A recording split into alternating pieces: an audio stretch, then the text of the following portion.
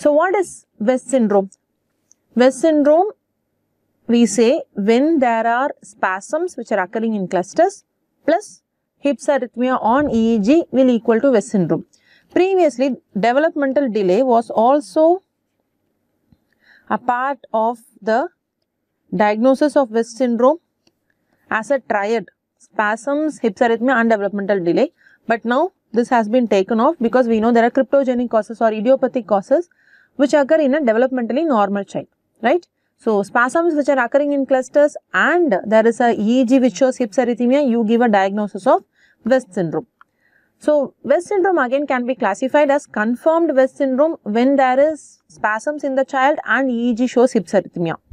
When it is a probable cause, when only you can get the spasms but you do an EEG, you are not able to find the hypsarrhythmia, you will name it as a probable West syndrome. You have seen the patient, you have seen the epileptic spasms and you are convinced clinically that they are spasms. But in case you do not get the EEG pattern, the interictal EEG pattern does not show the hypsarrhythmia, then you would write your diagnosis as probable West syndrome. There is one more entity called possible West syndrome where the spasms are doubtful. The even the clinically the spasms look very doubtful and EEG also show no hypsarrhythmia. So this is an accepted classification for West syndrome. So so far we are talking a few points about West syndrome. We will define the spasms and then we will move on to the etiology. So coming to the clinical spasms, what are these clinical spasms? We just talked about clinical spasms, hypsarrhythmia, etc. So what is exactly a clinical spasm? So, spasm you will define as it is a brief movement, very short term. Okay, so it is a brief movement. It is a synchronous movement. Okay, so that movement will involve synchronously the head, trunk, and limbs. Okay, sometimes head alone there is a bobbing is there or trunks and limbs alone. So that is there, but most often when we uh, get the patients, when we get to see the children, so they have the synchronous whole body moving. So the head will bob, then the whole trunk and the limbs will go for a quick brief movement. So it is like a jerk. I mean, how brief it is? What is the duration? So mostly it is around one second. It's a very, very quick movement. When we get these patients in the OPD and we ask the parents to take a video of it. So by the time they get the mobile, they start taking a video, it is disappearing. So because even though it can occur in clusters, they are very brief moments. So, they occur for around 1 second or maximum up to 2 seconds. So, these are all clinical spasms. You should know the definition. And again, based upon the characteristic of the spasm, it is divided into flexor, extensor or it can be mixed. Flexor means the whole trunk and the limbs are coming to flexion. So, this is flexion, total flexion. Extensor is extension. So, when compared to flexion and extensor spasms, flexor spasms are more common when they say, when we come to say, I think around 80, 70 to 80 percent is only flexor spasm. So, they come like a quick Moro reflex, like a quick startle reflex, the, um, the spasms will appear.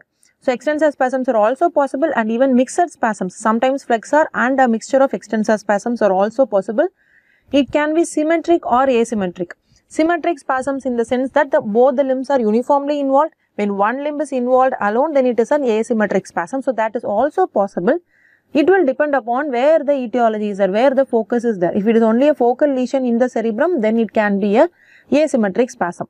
So, you will definitely see spasms in children and as pediatricians, we should never ever tell that it is a normal phenomenon. It can be colic, it can be uh, Moro reflex. No, there is a lot of misdiagnosis going on when we uh, get patients uh, of epileptic spasm. So, it is always uh, even if the child's uh, spasms you have not seen in neuro hospital, ask the patients to take videos, see a couple of videos, not just by one video, do not decide on this, see a couple of videos. You can even ask the parents, how is the spasm? Ask them to enact in front of you and come to a diagnosis and do repeated EEGs because hypsarrhythmia is going to be an interictal pattern. So, if you if one EEG does not show hypsarrhythmia, repeat it and then come to a diagnosis because diagnosing epileptic spasms and starting off the treatment will save the child from going into a great deal of neurodevelopmental disability. So, identification is very, very, very important. It can be flexor, it can be extensor, it can be symmetric or asymmetric, right? And these spasms most often they occur in clusters, okay, and they often appear just before the child is about to fall asleep or when the child is waking up from sleep.